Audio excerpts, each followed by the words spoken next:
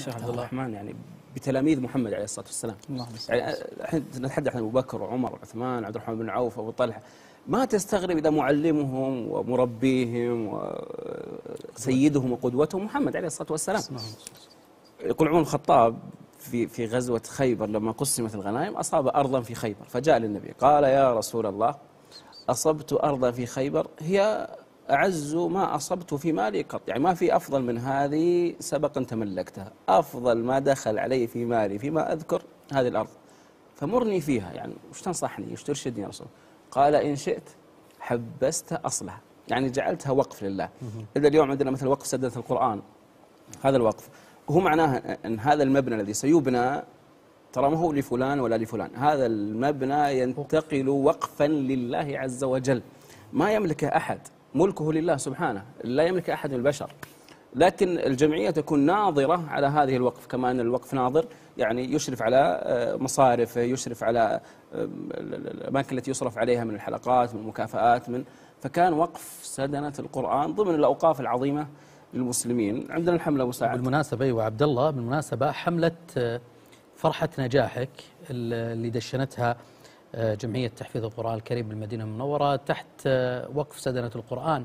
هذه الحملة آه، ما شاء الله يتسابقون بعض ال- الآباء وبعض الأمهات وأحيانا بعض الأصدقاء بإهداء الهدايا في فرحة النجاح. صحيح. الجمعية بادرت بهذه المبادرة. من خلالها تستطيع أن تهدي تهدي وقفا تهدي سهما لزميلك آه، بحيث أنه يتفاجأ بأن له آه، شيء أو ذخر في الآخرة ينتظره إهداء من زميله. وهذه سبحان الله هذه الهدايا اللي تبقى لأصحابها. ف والآن يظهر على الشاشة ال ال هذه الحملة حملة فرحة نجاحك. آه الآن تظهر على الشاشة.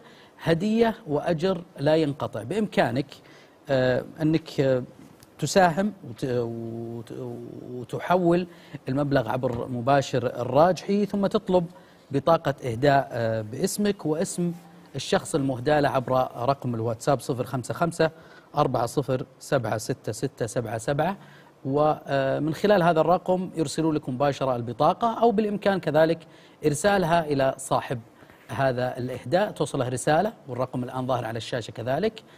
آه، تصور حجم المفاجأة لما يصل للإبن اللي نجح هدية من والده ووالدته. يصل على جواله رسالة بأن تم إهدائك سهم من أسهم وقف سدنة القرآن وهذا هو آه، هديتك آه، في في نجاحك طبعا ما يمنع أن تكون في هدايا. آه، دنيوية أخرى لكن هذه الهدية عادة هي تكون مفرحة خصوصا عندما يحس الشخص أو المهدى إليه بأنها فعلا وصلت يعني. وفيها تجديد فيها ومساعدة. تجديد. إن ال- ال- الإنسان يعني بدل ما يتعود على هدايا معينة هذه صح. الهديه يعني جميله متعودين يهدون للناجح جوال بلاي ستيشن والصغار سيكل. ولا سيكل ولا يطلعون مدينة الألعاب ولا حط مع هذه آه، إهداء الدعوة آه، وإهداء الصدقة هذه من الجمعية الخيرية. وأظن السهم 50 ريال أو 100 ريال. صحيح في فيها عدد من الأسهم. تجي إهداء باسمه. صحيح. ولا ولاحظ عبد الله ترى فيها رسالة قيمة.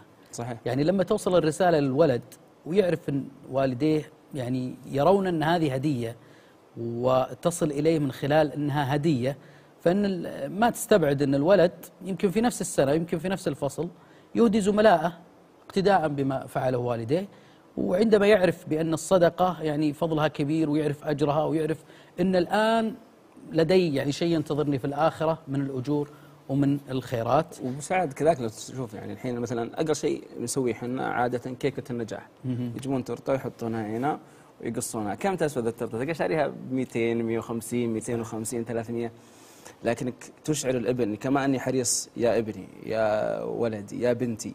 كما اني حريص على دنياك تراني حريص على أخرك. كما اني حريص إني أفرحك بهدية تستمتع فيها. هنا تراني حريص كذلك اني افرحك بهدية تكون في ميزان حسناتك. وسجل أعمالك. تراها يوم القيامة بإذن الله عز وجل ثقيلة في الميزان صدقة على خدمة كتاب الله في مدينة رسول الله صلى الله عليه وسلم.